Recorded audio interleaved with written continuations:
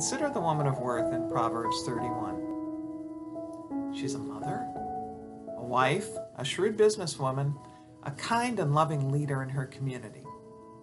She weaves, she spins, she sews, she serves her family and those in need. Yeah, we know she gets up before dawn, but my goodness, how does she do all this? I'm Melanie Rigney, the author of Woman of Worth Prayers and Reflections for Women, inspired by the book of Proverbs. The woman of worth has been seen as an almost impossible standard for centuries. We regard her as the same today, and yet there are bits and pieces of her in all of us. In these videos, I'll take a brief look at the verses in Proverbs 31 and explain how we can become closer to the Lord by following her example.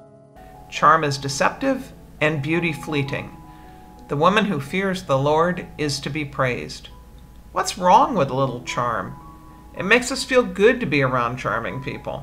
They make us believe that in that particular moment, we're the most important special thing in the world to them. But charm misused can wreak havoc with our souls.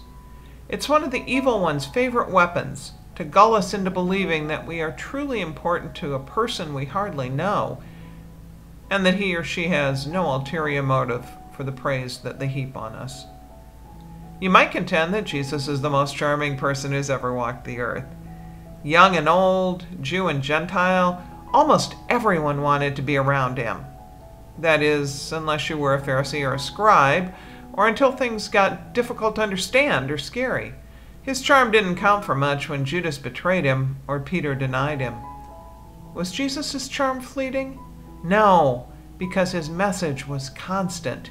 He gave comfort, but he spoke the truth. Kindly, yes, but clearly and unswervingly. Our charm is fleeting only when we use it insincerely, rather than loving the person and seeing the face of Christ in him or her. Used wisely, charm can be a healing balm for those we know and even for those we don't.